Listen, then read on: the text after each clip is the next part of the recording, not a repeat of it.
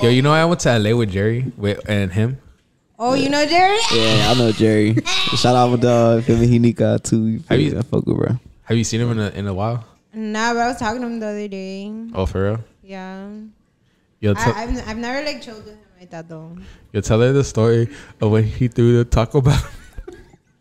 He's such an asshole. don't He's know. so funny The though. the highlight of that weekend such, was like, he threw a frappe. He threw a frappe at you with it, and it No, it was barely Taco- missed your it was head. Taco Bell. dog. He threw his Nah, it Taco was- Bell. Or it He was threw a what at who? it Who was a frozen. at It was a frozen drink. I don't remember Jerry from threw where. a frozen yeah, drink Jerry at threw a frozen drink. At nah, he threw his whole Taco Bell at me. Remember? He threw the whole bag. the whole bag.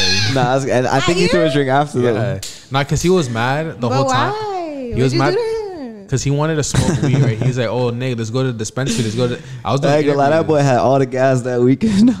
he was like straight off. Cause you know what, bro? I didn't smoke weed back then, so I Yes, he didn't didn't give a fuck. Yeah. Yeah. If I was more on point, I wouldn't have gave a fuck. But I was like, yo, I'm fucking out here. I'm 17. I'm trying to smoke the best weed. Like, obviously, I want to smoke some shit, but